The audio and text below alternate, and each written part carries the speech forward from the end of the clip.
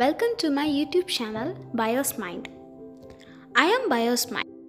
In this video, I'm going to tell the answers with reasons for the special quiz uploaded on June 27, that is on World Microbiome Day. Come on, let us know it.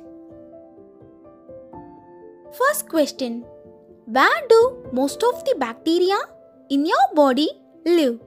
A. In your large intestine. B. In your small intestine. C. In your stomach. And the correct answer is E. In your large intestine. 99% of your body's microbes live in your large intestine or colon. Trillions of microbes ferment food you can't digest, produce nutrients, protect your gut lining. Second, can two people have the exact same microbiome? A. Yes. B. Yes, but only identical twins? C. No. And the correct answer is no. Because everyone has a unique microbiota like a personal fingerprint. Third, which microorganisms are used to make fermented foods? A.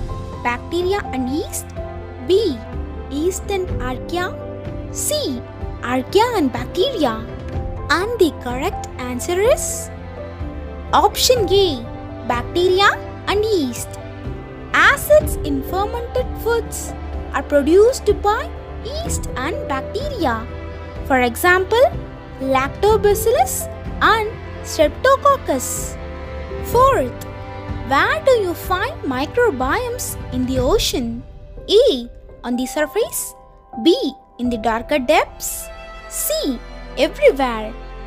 And the correct answer is C. Everywhere. The marine microbiome is one of the largest microbiomes on the planet, with billions of microbes being found in a single liter of water. Final question What evokes the odor of flowers? E. Bacteria and fungi produce aromatic compounds. B. Bacteria and fungi stimulate the plant's production of aromatic compounds. C. Both. And the correct answer is option C. Both. Professional perfume creators even culture microbes to produce certain scents. Thanks for all the comments. That's it for today's topic. We will meet in the next video with a good topic.